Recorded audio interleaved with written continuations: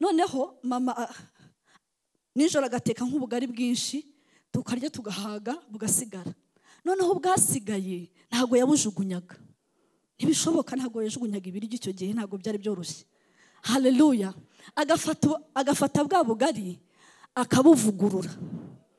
Ubwo bugari bwaraye n'ubutetswe ako kanya ntushobora kubitandukanya.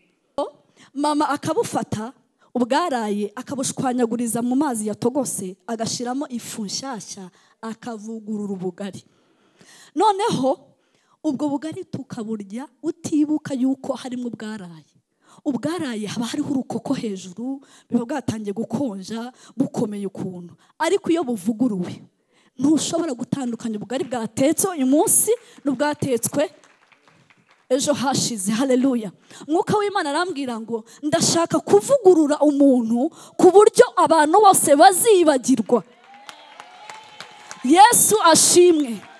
Abantu bose bazibagirwa amakosa yawe abantu bose bazibagirwa abagabo b'abandi watwaye umukobwa uri hano abantu bose bazibagirwa abagore b'abandi watwaye imana nikuvugurura abantu bose bazibagirwa. Bazibagirwa icyakubabaje bazibagirwa agahinda wanyuzemo imana nigukura mu kaga imana nikumara agahinda bazibagirwa haleluya haleluya twese hamwe haleluya Amen. ndashima imana imuhaye uyu mwanya ndetse na minisitiri bantekereje bakantoranya ariko piyesi uyu munsi twatewe iteka twatewe iteka guhagarara imbere y'abera ubundi twabahagararaga imbere turirimba ariko ibintu byaje kuduhindukana. Turashima imana haleluya. So mbere ko ntangire rero ndashaka hari ijambo numva nshaka kubabwira kubera kubera ko n'uyu munsi urabitwemerera si byo se? Njye ndashaka kubabwira uburyo mbakunda rero. Haleluya. Ni ukuri ni igitangaza cyangwa se ni ubuntu budasanzwe kuba ahantu imyaka irenga cumi n'ingahe ubona amasura amwe mubana mugira mute mutaraterana amabuye mutara Eh?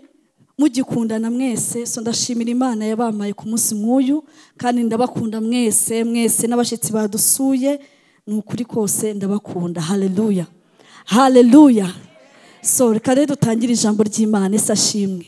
Ndashima imana cyane kuba inshuti y'imana cyangwa se kuba inshuti ya kirisito ni ibintu binini ni ibintu bigari. Umuntu adahita yicara ngo apange ngo avuge ngo mu kwa mbere nzaba inshuti ye mu kwa kabiri nongere mbe inshuti ye mu kwa gatatu nongere mbe inshuti ye.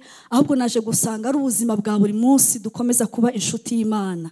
Haleluya haleluya turi kumwe twese. Haleluya kuba inshuti y'imana rero naje gusanga bi- bi- bi- bi- bisaba bisaba ko hari ibintu wigomwa kugira ngo ube inshuti ye neza nk'uko abishaka.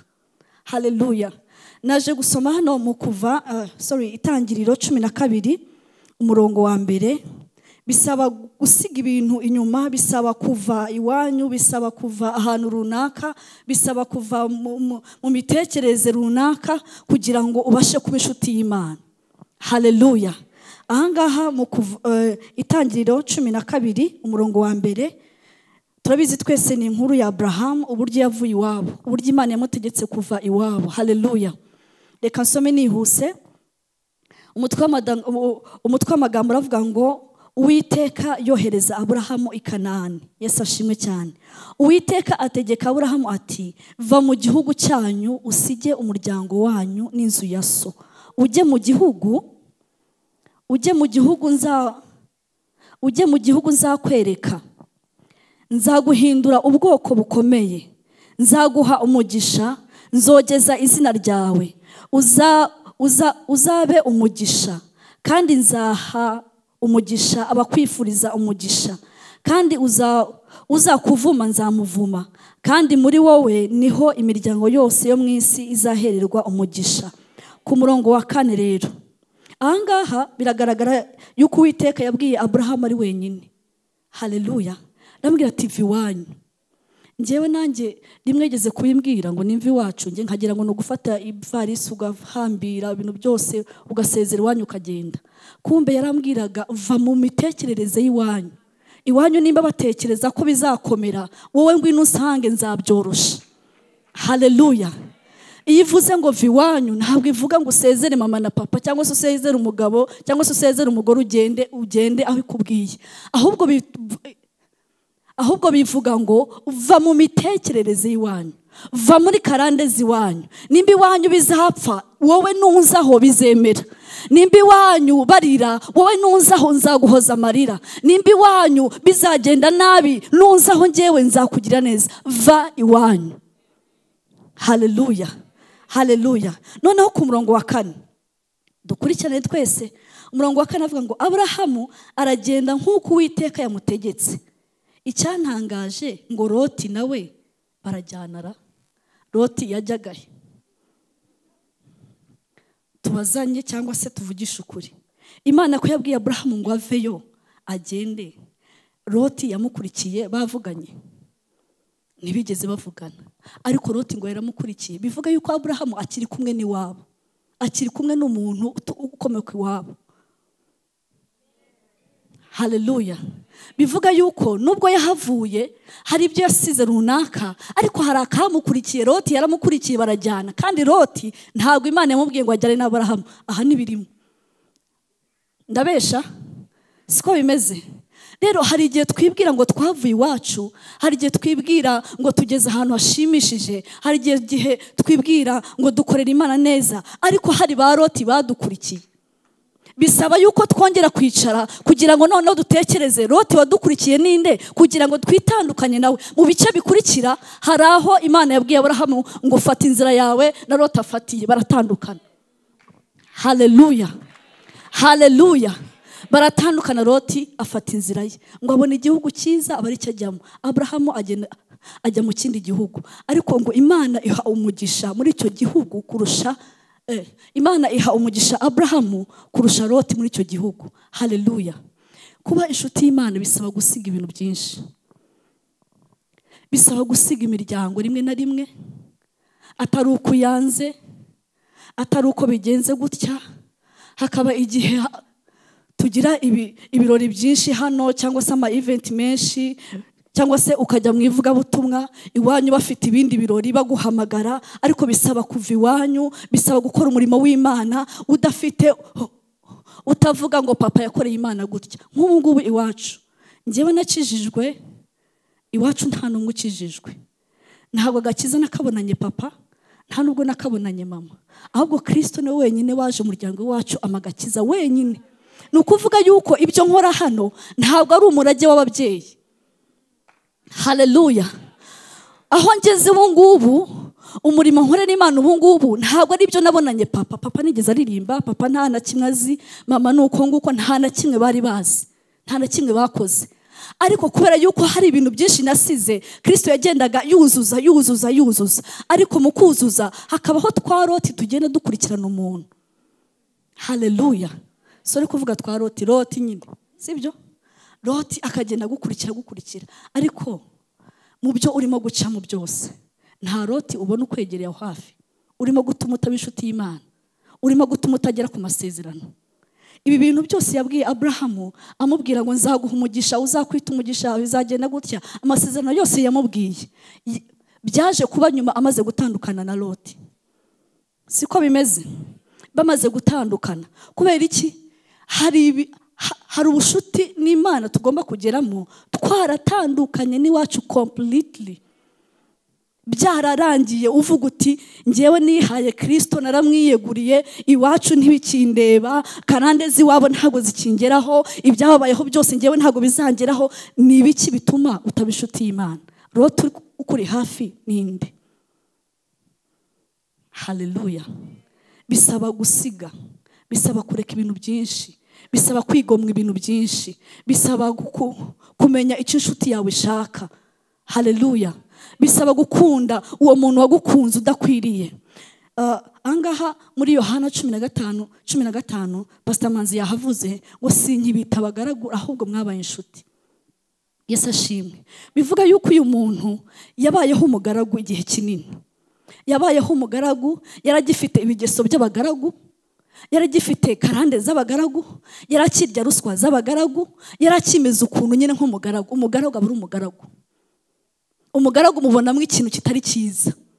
Ntabwo umugaragu ashobora gukora ibintu bizima. Haleluya ndumva bikaze. Haleluya yesu ashimwe. Haleluya bivuga yuko uyu muntu yarabayeho igihe kirekire ari umugaragu. Ariko kirisito kubera urukundo rwinshi aramureba aramwitegereza abona uyu muntu atangiye guhindukira. Tuvugishije ukuri.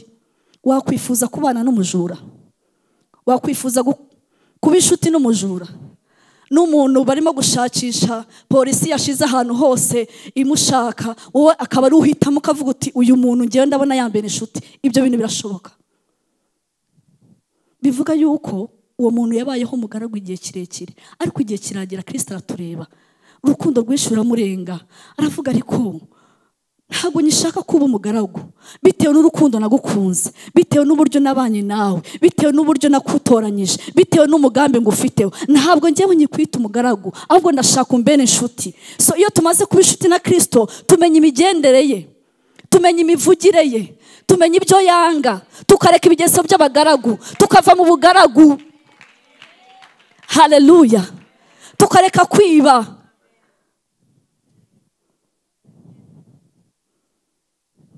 Tukareka kwiba. Tukareka ibintu by'amatiku. Kubera yuko twabaye inshuti na kirisito iyo tumaze kuba inshuti ye tuva mu bugaragu. Yesu ashimwe. Haleluya haleluya mbwira mugenzi wawe uti va mu bugaragu. Va mu bugaragu twisuzume buri muntu wese yisuzume tureke ubugaragu ubugaragu naje gusanga ari ubuntu bwinshi bw'ubutiku n'ubutiriganya n'ubuki bwose buntu buri aho ngaho budahesheje imana icubahiro butuma tutambuka bwa roti budukurikira butuma tutaba inshuti n'imana tuve mu bugaragu. Haleluya haleluya tuve mu bugaragu tuba inshuti z'imana nk'uko bikwiriye. Dusige byinshi kugira ngo tubone icyo imana yadufatiye. Haleluya nsoza akanyuma nsoza akanyuma mvuga kuri rebranding. Yesu ashimwe. Iyi nda umunota umwe. Ndashaka kuvugaho uh, uh, uh, uburyo imana ivugurura umuntu ivugurura umuntu. Nk'ubu ngubu mfashe urugero rwa ps niyo nkoreramo cyane ni ho mba cyane. Reka bariho nkoresha sibyo? Mfashe uru- urugero rwa ps ps yo mu bihumbi bibiri na gatanu ntabwo ihuye na ps ya 2020 turabibona u rwanda rwo muri mirongo icyenda n'umunani ntabwo ruhuye n'u rwanda rwa 2020 ni ukuvuga yuko hari ibyo imana yagiye ivugurura. Kandi bivuga yuko n'ubu ngubu ikivugurura. Haleluya i- igikomeje kuvugurura. Yesu ashimwe cyane. Ni bande bantu bariye ubugari hano? Cyangwa barya ubugari? Eh? ubugari ubugari ubugari. Cyangwa babukunda? Eh, eh, yesu ashimwe cyane. Twebwe iwacu twakuriye mu, gace k'ibuganda iyo ngiyo mu cyaro cy'iyo ngiyo twari duturanye n'ubwoko bwitwa abakonjo. Ubwo bwoko rero indyo yabo yari ubugari n'ifi. Yego? Ubugari n'ifi. Noneho ni urugero ndimo gutanga ariko nyuma ndaza kubabwira icyo umwuka yamishuri yesu ashimwe. Bivuga yuko ni indyo yabo ni ubugari ni ifi ni ubugari n'ifi umwaka ukarangira ari byo barya. Noneho natwe kubera yuko twari duturanye nabo twikanga turya ubugari kweri. Tukarya ubugari. Noneho mama rimwe na rimwe wenda amafaranga yabuze papa ntarazo yasize yagiye ubukene bwateye nk'uko twese twabayeho abakene ariko nyuma yaho bikaza guhinduka yesi ashimwe. Noneho mama ah, nijoro agateka nk'ubugari bwinshi tukarya tugahaga bugasigara. Noneho bwasigaye ntabwo yabujugunyaga. Ntibishoboka ntabwo yajugunyaga ibiryo icyo gihe ntabwo byari byoroshye.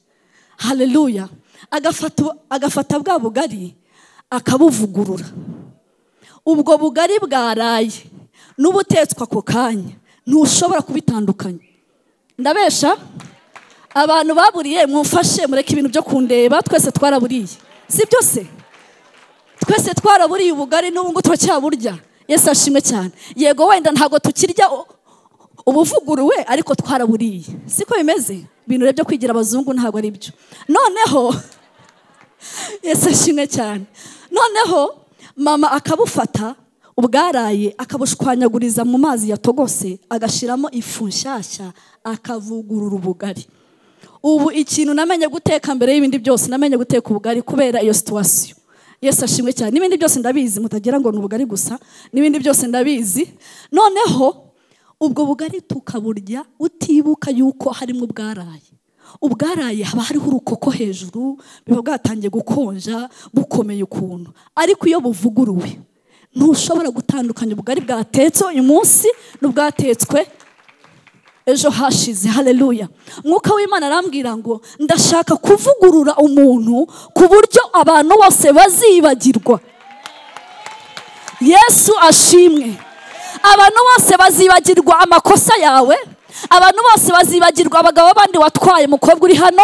Abantu bose bazibagirwa abagore b'abandi watwaye. Imana nikuvugurura abantu bose bazibagirwa. Bazibagirwa icyakubabaje bazibagirwa agahinda wanyuzemo imana nigukura mu kaga imana nikumara agahinda bazibagirwa imana irashaka kutuvugurura birasaba kwemera birasaba kwemerera imana birasaba gusiga ibintu byinshi ariko irashaka kukuvugurura. Iguhindure ikwibagize ibintu byose waciyemo. Imana ibaha umugisha. Amen. Umugisha. Sisita dina imana imugirire neza. Imana irashaka kutuvugurura ku buryo abantu bibagirwa ko twari tumeze nk'abaraye. Hareruya yesu amuha umugisha yavuze ku kintu cyo gusiga. Wenda uraza kugira ngo ni ugusiga umuryango gusa nk'uko roti byari bimeze afitanye isano na aburahamu ariko ikintu cyose gituma utaba inshuti y'imana ugisige. Hareruya usige inshuti wenda zituma uvuga ibiparu bitari byo mm? Abantu mushobora kuba mufitanye ikigare kitari cyo va aho ngaho naho ni iwanyu. Hareruya kuko umuntu ashobora kuba ati niba ari ugusiga iwacu n'uwakijijwe ukavuga uti reka musige siko bimeze. Ahubwo uba ukiri mu byaha itandukanye nabo. Nabwo si ukuvuga ngo turirukanse turabahunza. Ahubwo tubane nabo nk'abantu bazi ko bitari byo nyine twivugurure. Hareruya imana iha umugisha umukozi w'imana. Dusige ibyo byose bituza kuba inshuti z'imana tubisige mu izina rya yesu. Munyemerere tugiye kwakira undi muntu muri kano kanya. Haleluya haleluya haleluya ese hari umuntu wageze mu nzu y'imana ngo amvugire haleluya haleluya nitwa albertine uwingabire niyo mazina yanjye. Uyu mugoroba ndashima imana. Ndashima imana isumba byose ndashimira n'umushumba wanjye. Amahirwe nagiriye yo guhagarara imbere yanyu. Ngize umugisha rero kuganira namwe nk'uko babibabwiye turi mu mwaka wa rebranding. Rebranding bagiye bayisobanura kenshi gatandukanye. Ndetse hari ukuntu imana igenda ibihishura bitewe na na na rebranding yawe na rebranding yanjye na rebranding y'abakobwa na rebranding y'abasore. Kuko rebranding turimo kubona ntabwo ari nk'uko bahindura MTN ngo igire ibindi bintu ukora. Ntabwo ari rebranding ya hano hanze dusanzwe tubona. Ariko hari rebranding imana yagambiriye ku buzima bwacu. Haleluya haleluya ndayivugaho mu magambo makeya rwose. Kuvugururwa cyangwa rebranding ni uburyo ikintu kiba kimeze kuko kiba gisanzweho. Iyo iyo brand iba isanzwe ihari. Ariko imikorere ifite cyangwa uburyo irimo gukoreshwa cyangwa success igaragaza cyangwa uburyo abantu batangiye kuyumva no kuyirambirwa mu matwi ikagenda itakaza agaciro. Abantu bakayibagirwa. Abantu bakibagirwa agaciro kayo. Ndetse niba ari ibintu byagurwaga bikaba bitakigurwa. Ndetse niba hari- hari uburyo bungukaga bakaba batangiye guhomba. Noneho bagafata umwanzuro wo kuvuga ngo duhindure imikorere duhindure ibintu duhindure image duhindure imitekerereze duhindure imyumvire. Muri rebranding mu rwego rw'ubumana murankundira tunyarukire mu befesi ibice bine. Turebe ukuntu pawulo yabandikiye. Ntabwo rebranding itangiye ubu ngubu ariko women foundation ministries imana yifitiye umugambi wa rebranding specifically for this year. Ku bw'umwihariko kuri uyu mwaka imana yararebye isanga hari ibintu dutangiye gutakaza. Isanga hari intumbero dutangiye gutakaza. Isanga hari ahantu tugeze tuba sitaka imana irareba isanga hari agaciro gatangiye gutakara. Isanga hari hari hari ibyo batwitirira bitari byo. Isanga hari imeji yatakaye. Imana iragambira iravuga iti noneho disiya mugiye kuba riburandedi haleluya iyi rebranding ntabwo ari iy'abantu muri rusange. Ntabwo ari iy'abantu mu kivunge. Ntabwo ari iy'abantu muri gahunda gahunda rusange cyangwa gahunda nyamwinshi. Ariko iyi ni rebranding izakora kuri buri muntu ku giti cye. Haleluya abefeso ibice byaho bine. Umurongo waho wa makumyabiri na gatatu n'uwa makumyabiri na kane. Turasoma imirongo ibiri gusa. Kandi mu nkundire nyisome kugira ngo twihute. Abefeso.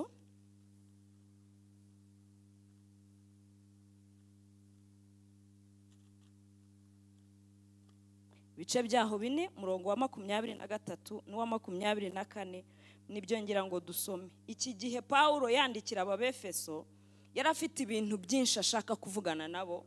Ariko cyane cyane ikintu yafokasingagaho cyari ukwizera.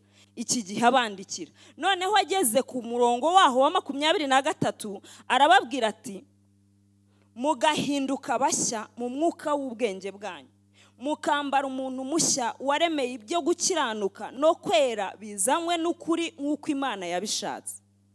Haleluya iki gihe paul avugana n'abefeso yababwiraga ibintu byo kwizera. Kuko ntabwo kwizera byari bitangiriye ku befeso iyo ugiye mu baheburayo basobanura se wo kwizera uwo ari we. Bakavuga aho tugukomora. Kwizera kwariho ariko imana ihamagara aburahamu iramutesitinga imunyuza ahantu imunyuza mu rugendo runaka kugira ngo itesitinge niba koko ashobora kuzaba umwarimu mwiza wo kwizera. Imaze kumutesitinga iramwemeza imugira se wo kwizera. Kwizera. Duhagazemo uyu munsi. Hari urugendo rero aburahamu yagiye anyuramo. Hari n'ibihamya byagiye bigaragaza kwizera kwe. Hari n'ibikorwa byaguhamyaga. Haleluya. Haleluya. Paul rero ari kubyigishaho avuga ibintu byo kwizera yaravuze ati ndabinginga nubwo ngewe ndi imbohe nkaba ndi imbohe y'umwami wacu. Ariko muhamagariwe kuba abagwaneza. Aho ni ku murongo wa mbere w'ibyo bice bine. Agakomeza akababwira ibyo bahamagariwe akababwira uko bagomba kwitwara. Uku kwizera rero yababwiraga ntabwo ari ukwemera gusa ngo Yesu azaza ngo wemere ko aguhinduye ubyakire mu mutima wawe niyo ntangiriro. Ariko yavugaga ko kwizera kujyana n'imirimo. Haleluya kandi ko iyo mirimo idatangirira mu maboko. Imirimo ntabwo itangirira mu byo dukora. Imirimo ntabwo itangirira ko duhagarara muri precious stones tukaririmba. Imirimo ntabwo itangirira muri protocole ngo tuzane abantu. Imirimo ntabwo itangirira mu byo dukora bifatika ahubwo imirimo itangirira muri mindset. Nuko arababwira ngo noneho mwebwe ubu ngubu aho mugeze mukwiriye kuba bashya.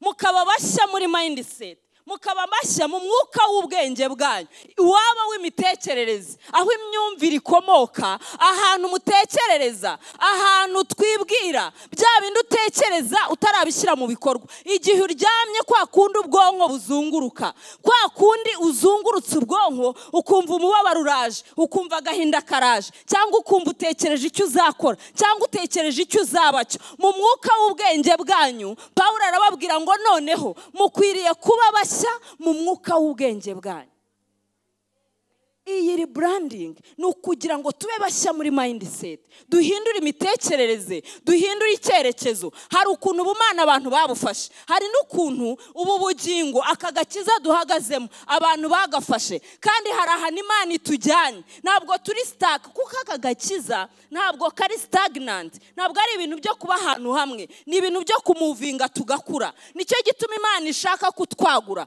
Kandi ntiyatwagura turi hamwe. Ariko ntizatwagura kubera ko twumva gusa. Ahubwo izatwagura ihereye mu mitekerereze. Hari umuntu urimo kunyumva cyangwa ndavuga ibintu biri ku rwego rwo hejuru. Mu nkundire mu byumve paul abwira abefeso arababwira kuri uyu murongo wa makumyabiri na gatatu ngo mugahinduka bashya. Guhindurwa. Rebranding. Ni ukugira ngo duhinduke bashya mu mitekerereze mu myumvire. Tugire kwizera ariko kwizera gutangirira mu buzima kwizera gutangirira mu bitekerezo kwizera gutangirira ahantu. Ugahagarika gukomfesinga ibitari byo. Ugahagarika kwatura ibibi. Ugahagarika kuvuga ibibi. Ugahagarika kurakara kwa hato na hato. Ugahagarika ibintu byose byo ukabihagarika kandi ntubihagarikire ku munwa ntubihagarikire ku maso ukabihagarikira mu myumvire. Haleluya ukabihagarikira muri understanding. Abantu benshi barwana n'ibibazo hano hanze ariko igituma turwana na byo bigeze hanze ni uko tudafite ubushobozi burwana na byo muri mindset. Iyaba twagiraga ubushobozi burwana n'ibintu muri mindset nta kintu ibikuzengurutse byagutwara. Ubukene wabuhindura utazi igihe bwahindukiye. Reka nkubwire abantu wibwira ko bakuvuga nabi wabihindura ubusa utazi n'igihe byaziye. Nta abantu bakwandamayininga bakagutesha agaciro. Wabihindura ubusa utabigaragaje no ku maso kuko ntibihagera ku munwa ntibihagera ahubwo bitangirira muri mindset. Ibyaha wabivamo bitakugoye kuko ntubitekereza. Ntabwo biba byaje. Mindset iba ifite iyindi mitekerereze y'ubumana. Tugahinduka bashya mu mwuka w'ubwenge bwacu. Haleluya umurongo wa makumyabiri na kane ngo mukambara umuntu mushya. Ni ukuvuga ngo uyu muntu si we tuba twambaye. Ahubwo twambara umuntu mushya waremewe ibyo gukiranuka no kwera bizanwa n'ukuri nk'uko imana yabishatse. Tukambara umuntu mushya. Waremeye ibintu byo gukiranuka. Kandi ibyo bintu byo gukiranuka bizanwa n'ukuri. Nk'uko imana yabishatse. Iyo usomye ibyanditswe sindi bubijyemo basobanura ukuri uko ariko. Ariko igihe kimwe ibyanditswe byaratubwiye ngo ni nge nzira ni nge kuri ni nge bugingo. Uwo yari yesu. Ubwo yesu ni we kuri. Iyo twambaye umuntu mushya tuba twambaye yesu. Ntabwo tuba twambaye twebwe. Noneho uko kuri kukaduhindura. Iyi mitekerereze tutayifite. Ntabwo riburandingi yasohora. Muranyumvise? Navuze ngo iyi mitekerereze. Tudahinduye mayindiseti mu mwuka w'ubwenge bwacu. Kugira ngo tugire imitekerereze y'ubumana. Tugere ku kigero gikwiriye cy'igihagararo cya kirisito ntabwo iyi riburandingi izasohora. Ariko izasohora nitugire iyi mitekerereze. Navugaga riburandingi imana ibaha umugisha. Imana ibaha umugisha. Imana ibaho umugisha mwinshi mwinshi cyane nitugira iyi mitekerereze tuzabana n'imana. Ubushuti buzoroha kandi ubushuti ntibabusaba. Ngo uze usabe ngo mana ngo urumva ndasaba ubushuti kwa kundi ugenda ukabwira inshuti yawe ngo ndagira ngo umpe ubushuti. Ubushuti ntibabusaba ubushuti barabukorera. Hari umuntu ndimo kuvugana nawe. Ubushuti ntabwo babusaba. Si amagambo twandika. Si ibyo tuvuga buri munsi. Ahubwo ubushuti ni ibikorwa bijyana n'imitekerereze. Ibyo tuvuga akaba ari byo dukora. Ibyo dutekereza akaba ari byo dushyira mu bikorwa. Noneho uwo tubikorera uwo tubitekerezaho yatwitegereza. Akavuga ati sinyibita abagaragu. Ati ndirahiye sinyibita abagaragu muri inshuti zanjye. Kuko ibyo nababwiye nabyumvanye data. Kuko nababikije amabanga y'ibya data. Mufite ububiko bw'amabanga y'ubwami. None kubera ko mbafitemo iby'ubutunzi nababikije muri inshuti zanjye. Imana ibaha umugisha ibagirire neza kandi imana twese iduhana umugisha mwakire ibyo umwami yampaye kuvugana namwe uyu mugoroba. Yesu ashimwe. Muri iri burandingi turagira vuba ariko urumva ko bidudubiza mu by'ukuri. Turashima imana kubwo umukozi w'imana tina uburyo tugomba kubanza guhinduka mu myumvire tukabona kuba riburandedi kandi ibyo biraduhindura inshuti z'imana. Ntabwo wakora ibyaha uri riburandedi muri iri burandingi turimo tubanze duhindure imitekerereze niturangiza turaza kuba inshuti z'imana nk'uko twumvise ko tugomba kubaha amategeko yayo. Twihuta reka twakire undi mukozi w'imana. Imana duteye iteka iduha bene data tubona ari n'inshuti z'imana mu by'ukuri mu murimo bakora. Hareruya ndagira ngo twakire mwene data wundi ariko mwafashe tukajya duhaguruka tukakira bene data tukubaha imana igiye gukorana nabo. Yes, hadukomera imana mu mashyi. Twakira icyubahiro cy'imana muri mwene data. Brother Silas reka tumwakire. Imana imuha umugisha. Ngewe iyo uramye imana ndabikunda. Aguha umugisha. Hallelujah. Hallelujah. Hallelujah. Nawe iteka nanjye ryo guhagarara imbere y'abera b'Imana. Haleluya ntabwo bisanzwe. Naranezerewe cyane. Bamisemo ngo nanjye mvuge ku bushuti bwa kirisito haleluya ndanezerewe cyane. Iyo nezerewe ndi njyenyine nzi uko mbigenza. Ariko koko ndi imbere y'abera reka nitonde. Haleluya kirisito ni we nshuti ngira ngo iruta izindi zose zibaho. Naje gutangara nsanga ndi inshuti na mama ariko ntago mama ubushuti bwanjye yabushobora. Kuko buriyongera uko bukeye bukiyongera uko amafekisiyo bukiyongera yamvugisha bukiyongera yagira ikintu ankorera bukiyongera ariko ngiye kuvuga ku bushuti bwa kirisito kirisito ni we muntu wadukunze atagendeye ku biro atagendeye ku masura atagendeye ko twagiye muri jimu ariko agendera ku mitima gusa. Tuvuge ngo imitima gusa. Tujye mu byanditswe ndabivuga neza ariko turi mu byanditswe. Yohani ibice cumi na bitanu umurongo wa cumi na gatatu. Haravuga ngo twihuse haravuga ngo ntawe ufite urukundo ruruta urw'umuntu upfira inshuti ze. Ndabisubiramo. Ntawe ufite urukundo ruruta urw'umuntu upfira inshuti ze. Haleluya haleluya ku murongo wa cumi na kane hagahita havuga ngo muri inshuti zanjye. Haleluya nimukora ibyo mbategeka. Uyu munsi naje gucukumbura ningera kuri iryo jambo ibyo mbategeka ndaza kubabwira ikintu duhuriyeho kugira ngo kirisito abe inshuti yacu. Abaroma ibice bitanu umurongo wa munani. Haleluya ariko imana yerekanye urukundo rwayo idukunda. Ubwo kirisito yadupfiraga tukiri abanyabyaha. Haleluya mu buzima bw'abantu ndimo ndavuga ubushuti burya umuntu iyo ari inshuti yawe aba agukunda. Kandi iyo agukunda bi- ni itegeko agomba kuba inshuti yawe. Haleluya noneho uyu muntu witwa kirisito yagaragaje urukundo tukiri abanyabyaha. Byanditswe nk'ibyinshi muri yangana ndabihuza neza. Haleluya abami ba kabiri ibice bibiri umurongo wa kabiri. Yari yabwira elisa ati ndakwinginze sigara hano kuko uwiteka ntumye beteri elisa aramusubiza ati nkurahiye uwiteka uhoraho n'ubugingo bwawe. Sinsigara nuko baramanukana bajya i beteri twakire neza ijambo ry'imana. Haleluya ndavuga ku bantu babiri elisa na eliya. Mvuge no ku bushuti bw'umuntu watwitangiye tutari tubikwiriye. Ariko akadukunda atavuze ngo sirasi reka mukunde wenda azaririmba.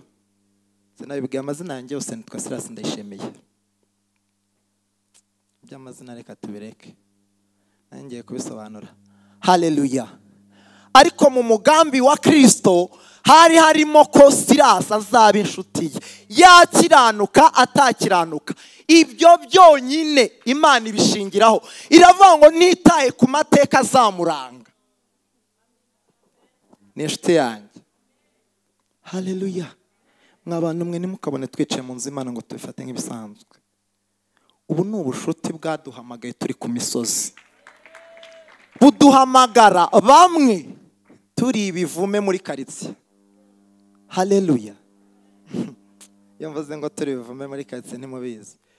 Imana ireba iri mu ijuru iravuga ngo uriya ni umwana wanjye. Ndamukunda.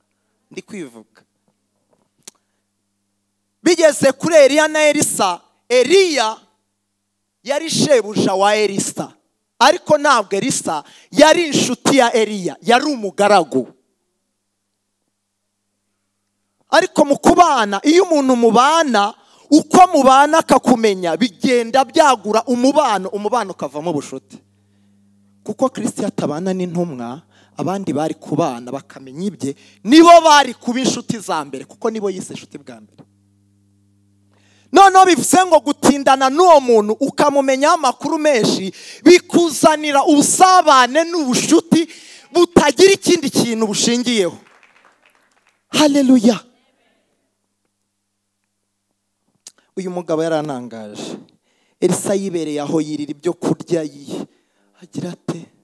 Ariko umunsi umwe imana igiye gutwara eriya hareruya muzabirebe umuntu nubwo mwaba mwangana.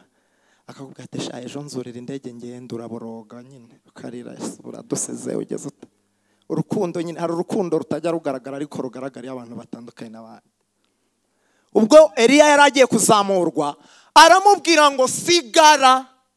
Hareruya sigara kuko uwiteka ngewe wanjyanye. Sigara kuko ibyo twakoranaga birangiye. Ah. Elisa agira ubwoba. Niwe wangaburiraga ni we wagiraga gute ni we wanyambikaga ni we ati kameme uyu muntu wankunze.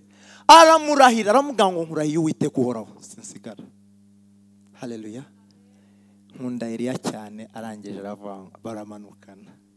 Baramanutse aho bageze abahanuzi bakavuga ati rega shobuja agiye kuwukurwaho icyo nshaka kuvuga ni ukuvuga ngo iyo ubushuti bugeze muri twe ikintu cya mbere dufata umwanzuro. Ibyo twari turimo tukabivamo. Tukinjira mu wundi murongo wo gukurikira. Hareruya impamvu abantu nyine rimwe na rimwe dutinda kwakira urukundo abantu badukunda ni uko tutarukurikiye. Tujya turukurikira uko rugiye kudusiga. Hareruya kirisito ageze hano aravuga ngo inshuti ibasha kwitangira. Ibasha kwitangira. Abantu bari mu byaha. Ugakunda umuntu uri mu ngeso mbi. Hareruya ariko arangije avuga ngo mu inshuti zanjye nimwumva ibyo mbategeka. Elisa byasoje agize umugisha. Bagera i Girugari bagera i yorodani ibyo sinabisobanura ni umwanya muto. Ariko kuba yari ari yeriko akavuga atuhereye uyu munsi mvuye yeriko nkurikiye eri yigira ugara akava ugara akamanuka yorodani hari icyemezo muri we yari yafashe. Uyu munsi byari bikwiriye ko turushya kirisito kugira ngo akomeze adukunde twe tutamukunda hareruya turamwongerera akazi. Dukeneye kwakira urukundo yadukunze turi babi tugahindukira tugakurikira urwo rukundo. Kugira ngo abasigaye inyuma nabo babashe kwiga urukundo dukundwa atari uko twazanye amafaranga atari uko twagize ibintu dutanga ariko kubw'urukundo twakunze nta kiguzi abo bantu bakavuga ngo ariko uwo muntu ubasha gukunda ati n'agakunda keva agakunda. Buri muntu nturiya kweri uzi ko dukizwa abantu baba bati nturiya nturiya se ni igitangaza hareruya ugakizwa niba wari uri muri club ugenda nabyinnye bakavuga bati ntibibaho. Ubuhamya reka tubureke. Ariko kirisito ndashaka kuguha inkuru ivuga ngo uri inshuti ye niwemere ibyo agutegeka. Reka dusoreze ku bintu kirisito rero adushakaho. N'iki kirisito adutegeka kugira ngo tube inshuti ye? Hareruya burya biraryoha cyane kumenya ibyo inshuti yawe ikunda kuko ni bwo urukundo rwuzura. Nibwo uba inshuti ye nyakuri niba mama kabeza nzi ngo yanga ibi nkabikura mu nzira mba mbaye inshuti ye. Niba nzi ngo tina yanga ibi nkabikura mu nzira burya mba ndi inshuti ye. Mba ndi gusatira ubushuti bwe. Kirisito nawe hari ibintu adushakaho mu buzima bw'uru rugendo kugira ngo tube inshuti ze. Reka turebe mu gutegeka kwa kabiri. Twihuta. Gutegeka kwa kabiri ibice icumi umurongo wa cumi na kabiri reka nsome nihuta. None wa bwoko bwa isirayeli we uwiteka imana yawe gushakaho iki? Hareruya hareruya si ukubaha uwiteka imana yawe.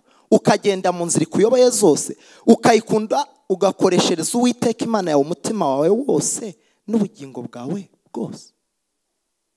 Mika gatandatu umunani haravuga ngo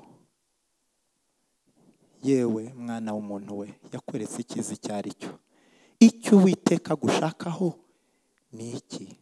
Icya mbere ni ugukora ibyo gukiranuka. Icya kabiri ni ugukunda kubabarira. Icya gatatu ni ukugendana n'imana yawe wicisha bugufi. Reka nsoze mvuga ngo ibyo kirisito atwereka kugira ngo tumubere inshuti si ibyo byonyine. Ariko nitugendana n'imana tugakora ibyo gukiranuka tukababarira. Kirisito azatubera inshuti nyakuri. Hareruya ibyo byose nitumara kubyegeranya tukumvira tukagendera muri uwo murongo. Imana izaba imana yacu. Imana idahana umugisha amen. Witeka imana aho umugisha mwene data sirasi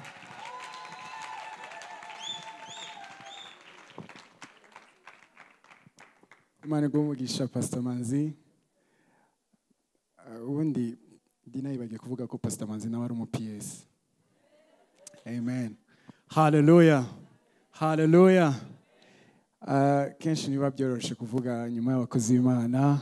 Haleluya eh bari muri faya haleluya imana ishimwe. Kandi ni igihamya kinyemeza yuko nanjye ndakome- ndakomereza muri iyo faya nyine haleluya haleluya ubundi biraryoshe kuvuga kuri teme rebranding.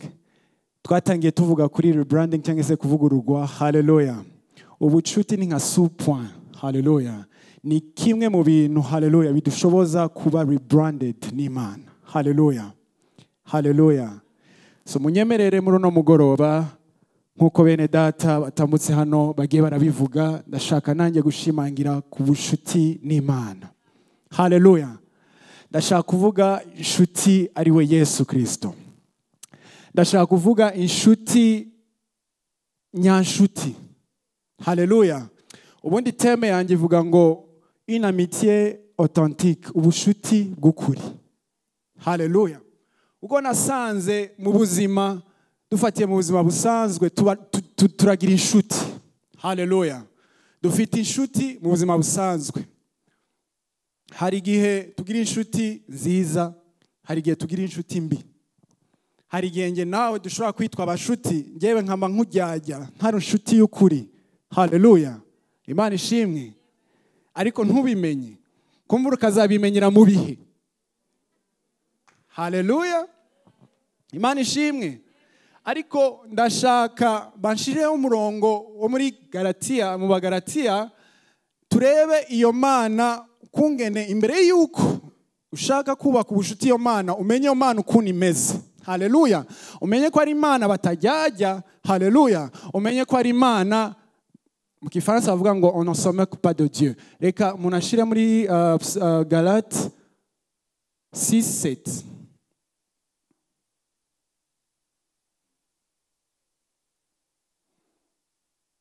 aha. Ufite bibiliya y'ikinyarwanda ashobora kudusomera ko mu kinyarwanda arabivuga neza. Abagaratiya ibice byaho bitandatu umurongo wa karindwi. Aravuga ngo ntimuyobe. Imana ntinegurizwa izuru. Kuko ibyo umuntu abiba ari byo azasarura. Amen. Haleluya nta kuntu badushirira mu gifaransa kugira ngo turebe kunegurizwa izuru. Haleluya kumbure ni ikinyarwanda gikomeye turebe uko ngene bisigura.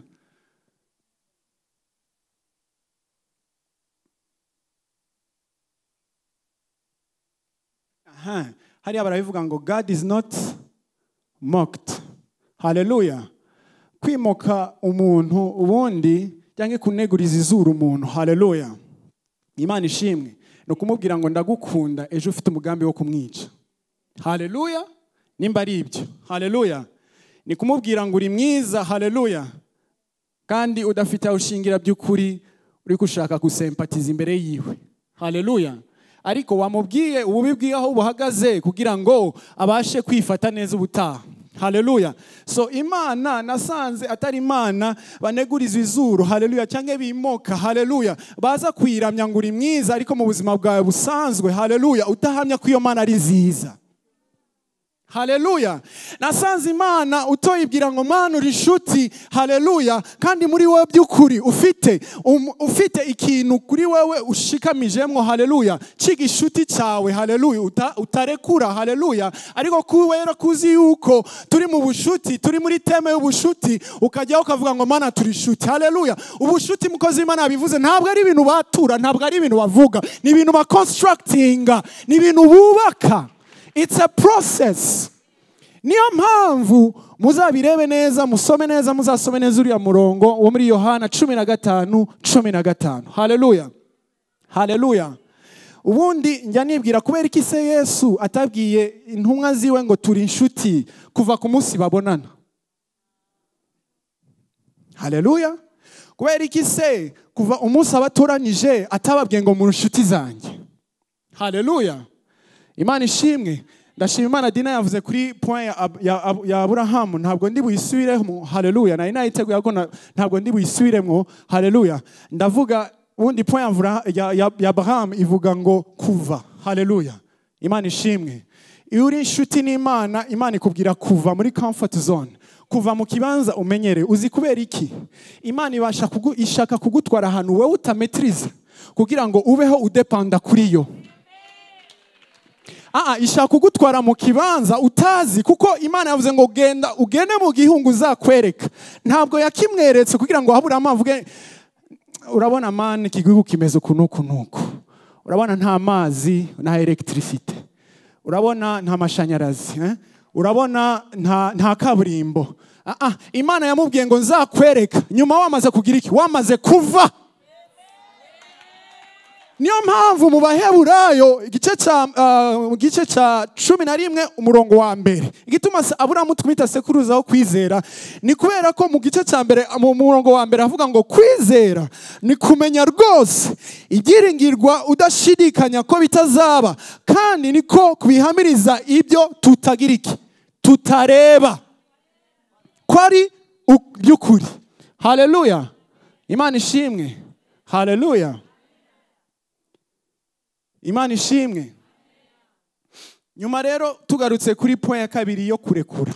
Haleluya S- petero arabaza petero arabaza yesu ati none se mwami ko twasize ibyacu? Haleluya ko twasize umushusho? Ko nasize umushusho wa mama kevin? Ko nasize ubugari bwa papa godard? Haleluya ko nasize affection guteta? Ko nasize biriya byose ko nasize haleluya iriya affection y'ababyeyi. Ubundi haleluya amitié iri resume mu bi- mu bice bine. Na resume mu bice bine hariyo intimité hariyo affection hariyo confiance hariyo réciprocité. Haleluya ibyo bintu bidahari mu bushuti uzabisuzume neza ko ari ubushuti bu- bw'ukuri. Imana ishimwe. Haleluya nyuma yaho eh, yesu arababwira ati ni ukuri ni ukuri ndababwira yuko uwasize byose azabishumbushwa. Haleluya fine. Haleluya ni byiza ariko utubwiye ryari mwami? Azabishumbushwa ryari? Kutaduhaye garanti. Ah, ah, none se kutubwiye ngo azabishumbushwa hama nyuma yo kutubwira iryo jambo tukakwa n'ibindi? Murumva ukungene yesu utamukurikiye neza wava uyoba inzira ziwe. Kandi ijambo ry'imana avuga ngo ahiga udatsitazwa n'inzira zanjye. Haleluya. Imana ishimwe. Haleluya. Haleluya. Haleluya. Njya niyumvira ubwo yabwiye aburahamu ngo agende gutanga isaka. Aramubwira ngo ngo nzironkera. Fata process ya aburahamu kuva aho yari ari. Kugeza hariya yashikaniye ishaka. Haleluya. Ku gicaniro ashaka kumucumita. Haleluya. Kugeza iyo process atana kimwe imana iramubwira. Kugeza kuri point yo gushaka kumucumita. Ni ukuvuga aburahamu wenda yagendaga avuga wenda ninagera wenda tuvuye hano ngiye Nya- Nya- nyamirambo. Uravuga ni wenda ninagera mu mujyi kwa rubangura imana irambwira ngo cya kintu nirongeye ngicyo. Ukagera kwa kwa kwa kwa ntuze kwa aho nari mvuze ni hehe kwa rubangura ugasanga imana iracyacecetse okay ninakomeza nkagera ku- kuri mirongo ine wenda yambwiye hariya kuri stade. Nagera kuri mirongo ine araza kunyereka ikindi gitambo. Ugasanga nothing. Gushika ugere kuri lieu de rencontre. Gushika ufate inkota. Ushire isaka haleluya ugere kuri point yo imana ize kuri point finale ikubwire ngo hagarika namaze kubona ukwizera kwawe. Mu bisanzwe ni- nico yesu niyo mpamvu yesu yabwiye ngo tugarutse kuri wa murongo wa yohani kenzi kenzi arabwira ngo singa ibitabashumba. Kubera iki? Haleluya nabahaye amabanga yose twarajyanye muri process nasanze muri abo kwizegwa. Haleluya so at the end mu nyuma yabyo haleluya nsanga mukwiriye kwitwa inshuti zanjye haleluya haleluya mwibuke yesu igihe yakoze igitangaza cyo ku- cyo kugwiza imigati. Haleluya imana ishimwe. Agwiza imigati abantu bararyoherwa barafungura. Nyuma yaho yesu afata ubwato aragenda agenda ahandi nyuma baramukurikira. Haleluya avuye muri uwo mujyi haleluya bamukurikiye. Yesu arababwira ati ni ukuri ni ukuri ndababwira. Ntabwo munkurikiye kubera ibitangaza mwabonye ariko munkurikiye kubera iki? Kubera imitsima haleluya imana ishimwe. Ubundi njyewe ndi bariya nari kuvuga n'ubundi erega ni ibyo nyine. None se ni byo watweretse? Kandi ni byo twishakira muri uno mwanya. Haleluya imana ishimwe. Mu nyuma ndakunda yesu. Ababwira ibitandukanye n'ibyo bari baje kumva. Ababwira ngo mugati cyangwa umutsima mushaka nige mutsima. Ukuri. Ah haleluya ubundi baramu- baramurebye yesu baravuga none se wowe two kujya tugahera hehe mu kukujya haleluya uravuga ngo tukunywe. Wowe ko u- uvamwo amazi? Haleluya biri gute? Ko imigani yawe tutarimo kuyumva neza. Haleluya ushatse kuvuga iki? Akabasubiramo ati ni ukuri ni ukuri ndababwire. Haleluya haleluya yuko nijya mutsima w'ubugingo kandi uwundiye ko nazagira inzara ukundi kandi unyoyeho nazagira inyota ukundi. Haleluya donc arushirizaho kubigira ibigumye arushirizaho kubatwara deep. Imana ishimwe. Barabashoke basubira inyuma. Yesu areba intumwa ziwe arababwira ngo namwe mushaka kubakurikira. Ndakunda petero yamubwiye ngo mwami tukuveho tuje haleluya tukuveho tuje he yesu asubira kandi abaza abigishwa ikibazo. Ngo hariya hanze ngo mwumva banyitande. Ngo bamwe ngo uri umuhanuzi ngo abandi ngo uri Eliya abandi ngo uri ibi n'ibi. Haleluya ngo hama mwebwe muvuga ko ndinde petero asubira kumubwira ngo uri kirisito murumva izo process zose yagiye abanyuzamo. Haleluya kugira ngo amenye ubundi ntabwo waba inshuti y'umuntu utamuzi. Haleluya ubundi inshuti nyayo uyirebera mu gihe cyo gusubizwa. Haleluya no mu gihe wakubiswe. Haleluya haleluya niyo mpamvu mpamya neza yesu yarabyihweje. Aravuga mwebwe muri inshuti nyazo. Haleluya haleluya kuko urugendo rwose mbaha cyangwa ndabima mwakomeje kubana nanjye haleluya haleluya mbakorera ibitangaza cyangwa sinbakorere haleluya mwakomeje kubana nanjye haleluya niyo mpamvu nanjye nirahiye kuba rebrandinga. Haleluya ngiye kohereza haleluya umufasha. Haleluya umwuka wera kandi umunsi azabaza ko haleluya muzagira imbaraga kandi muzabaga wo kumpamya.